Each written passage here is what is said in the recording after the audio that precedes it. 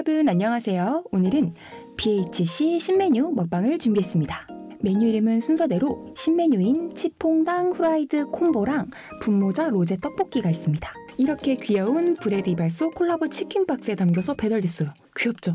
이번 치퐁당 신메뉴는 보시다시피 후레이크가 많은 게 특징이에요. 이거 이 한 마리에 들어있는 후레이크요. 광고여서가 아니라 제가 진짜 이거 치킨 꺼내고 다 탈탈 털었는데 이렇게나 수북하게 대박이죠. 그래서 그런지 이 남은 후레이크로 꿀조합을 만들어서 먹는 치퐁당 순삭 챌린지를 하고 있더라고요. 그래서 저도 이 챌린지에 동참해보고자 빵 위에 마늘 버터 스프레드를 뿌려서 여기에 후레이크를 추가해서 먹어볼게요. 그리고 제가 이 분모자 로제 떡볶이를 옮기다가 소스를 딱 찍어 먹었는데 너무 맛있는 거예요. 그래서 밥에다가 로제 떡볶이 소스를 넣고 거기에 치즈를 또 올려서 리조또처럼 만들어 봤어요. 이따가 후레이크도 올려서 먹어볼게요. 사이드로는 sweet habanero 소스랑 뿌링뿌링 소스, 그리고 자리가 없어서 못 올렸지만 맵소사 소스랑 양념 소스도 있습니다. 이따가 밥이랑 같이 먹어볼 김이랑 치킨무도 있고요. 음료는 콜라. 그럼 잘 먹겠습니다. 콜라부터 먹어볼게요.